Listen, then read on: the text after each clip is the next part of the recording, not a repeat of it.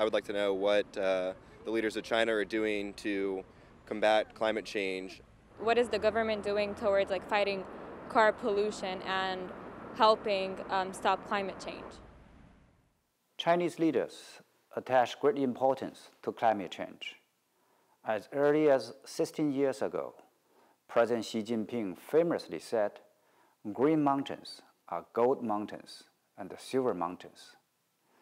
In September last year, President Xi announced that China aims to have CO2 emission peak before 2030 and achieve carbon neutrality before 2060. Recently, China introduced a working guidance and an action plan in this field.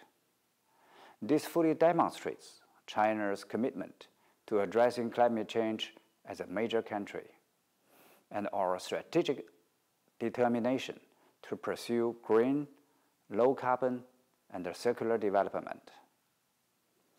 President Xi gave a comprehensive and systematic account of the vision of building a community of life for man and nature at the Leaders Summit on Climate last April, contributing Chinese wisdom and solutions to climate change and environmental governance.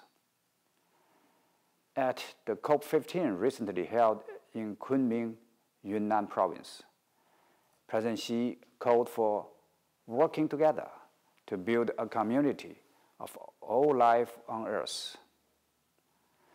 Giant panda, which is people's favorite in many countries, has been downgraded from endangered to vulnerable on the global list of species at risks of extinction.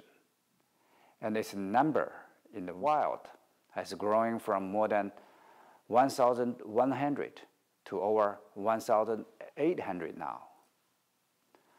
As we speak, the COP26 is taking place in Glasgow. At the summit, President Xi called upon all parties to uphold multilateral consensus, focus on concrete actions, and accelerate green transition. In our united action to tackle climate change and protect the planet, our shared home. Speaking of human impact on climate, many people would think of vehicle emission. China has been making hard efforts to reduce vehicle emissions and encouraging green transport, and such efforts have paid off. China's Stage 6 vehicle emission standards implemented in most of the country are one of the most stringent in the world, stricter than those in the United States. In other words, many cars running on American streets right now are prohibited in China. At the same time, China's industry of new energy vehicles has developed tremendously, with a total of 6 million new energy vehicles. That is to say, half of the world's new energy vehicles are running on the streets of China.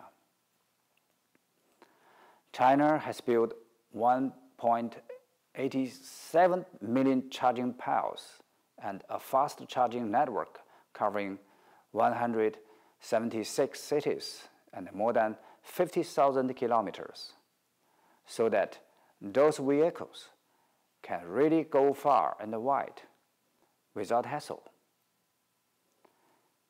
It only took Tesla one year to build its first super factory outside the US in Shanghai, with an annual output of 450,000 vehicles.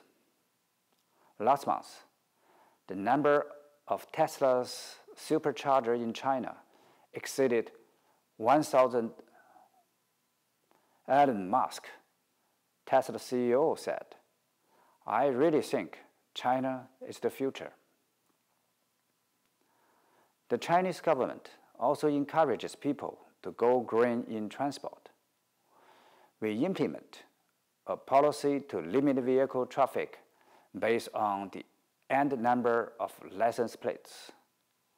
In Beijing, nearly one-fifth of the vehicles cannot go on public road on a working day, and the people can choose to carpool or take the subway.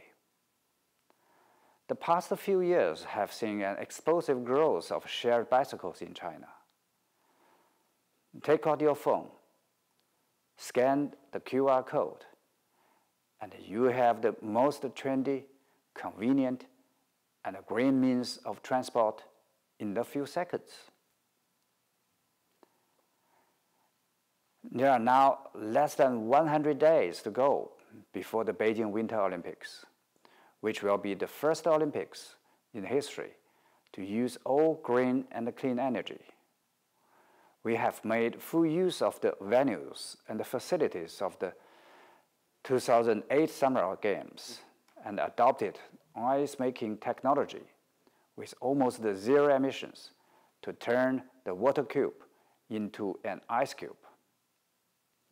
Green will be the most prominent color of the Beijing Winter Olympics.